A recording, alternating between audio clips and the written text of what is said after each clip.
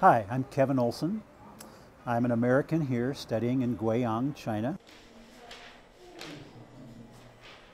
I'm 59 years old and I've lived in Guiyang now for three years attending Guizhou Normal University studying Chinese.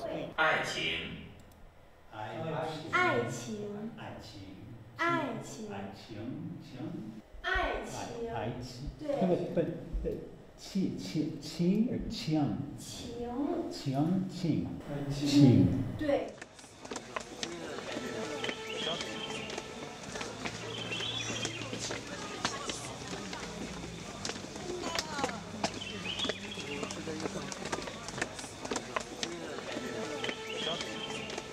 In addition to being a student, I'm also a teacher, uh, a tutor, if you will. So I have several students, they excel at reading and writing and, and listening, but to speak the language, they don't know the proper pronunciations often.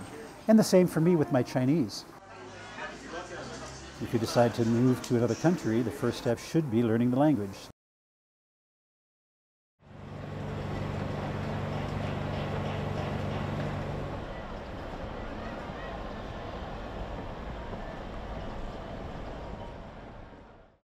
From the first time I came to, to Guiyang, I just knew that I would someday be here long term.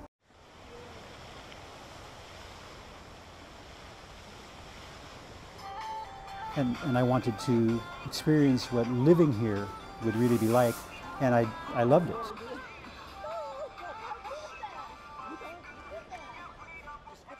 I really felt at home here.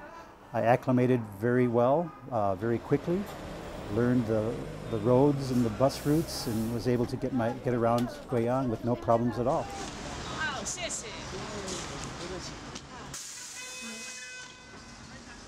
I enjoy walking around Guiyang, going to the different parts of the city. I go to several different baking shops are, uh, that are available for Western items to buy the supplies necessary to make bread or cakes or cookies